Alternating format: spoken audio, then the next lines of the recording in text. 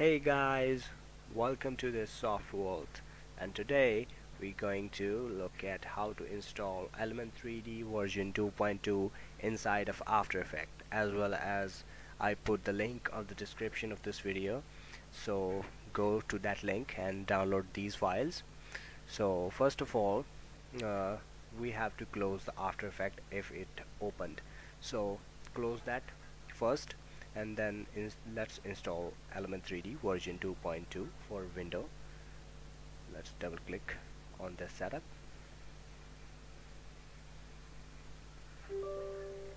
Now click next I accept click next next next.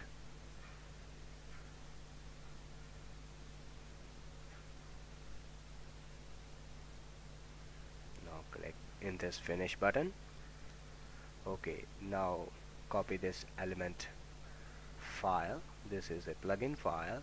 Now go to your C drive. Now open program files. Now go to Adobe Adobe After Effects CC 2015 I have. And uh, go to support files go to plugins. Now go to video copilot. Now paste here and replace this file from previous one. Okay. Now what we gonna need to do is now open After Effects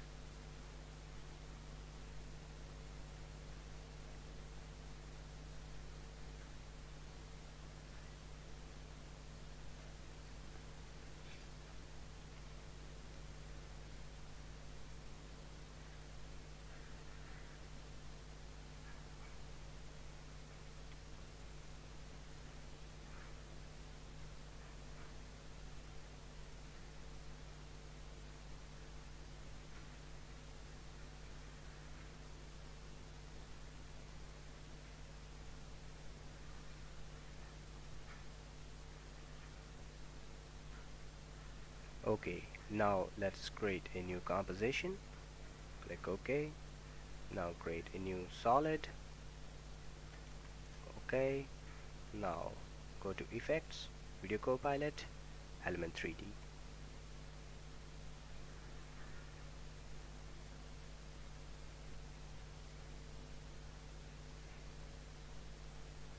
so I already installed it.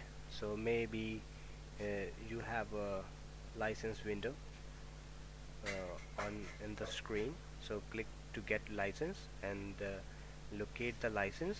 And once you locate it uh, you will see this file and uh, select this file and uh, there you go. You will have fully functional element 3d inside of After Effects. So now you can see that go to scene setup. As you can see over there 2.2 element 3d so that's it. Okay I hope you like this video. Uh, if it's useful for you and please don't forget to subscribe my channel. And uh, please don't forget to like this video. Leave your comments and if you need any more uh, plugins regarding uh, After Effects then please Uh, let me know. Okay see you in the next video